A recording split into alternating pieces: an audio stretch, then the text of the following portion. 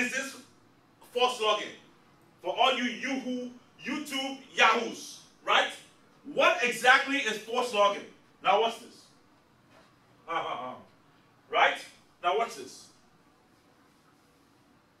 Automatically, oh, somebody give me the somebody give me the um, the command for that force logging. What does it say? Alter system. Alter database. So alter database what? Force logging. Force logging, right? Semicolon enter, right? Yes. Now watch this. What exactly is the purpose of force logging? This is the purpose of force logging. Listen to me, guys. Mr. Uh, Mr. Divide. Mr. Divide, you're working too hard.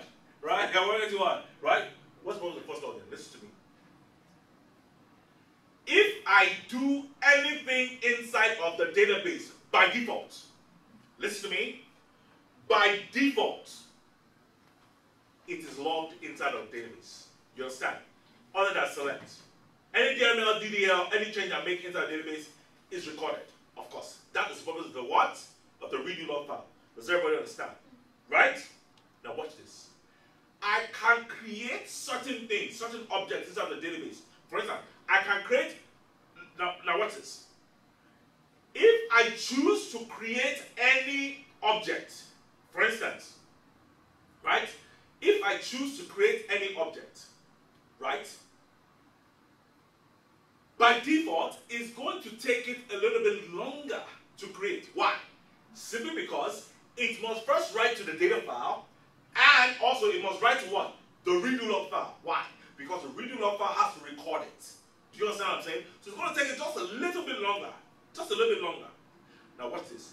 Suppose I create an index, right? I create an index. I can create an index, create index, blah, blah, blah, blah, and at the end of it, I say no login. What does this do?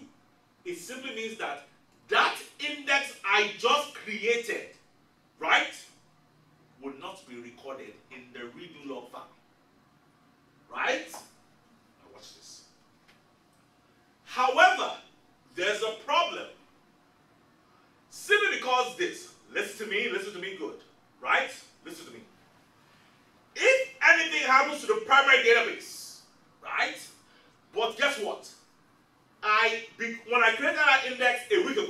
I did no logging. And I now do, let's say something happens to the primary database. Now I'm now I've, I've done a failover. Now I'm now my standby is now the primary. Right? Because when I was creating that index, right, I did no logging. Guess what? That index will not be in the what? Stand. In the standby. Why? Because at the end of it, I said no logging. Right. Do you understand what I'm saying? So guess what? Your standby database is not complete. That's the problem. So when you are creating a standby database, one of the things that you must do is to do what we call force logging. So that guess what? Even if that person does no logging, it will still be logged. All right, you two. That's the end of that. So done.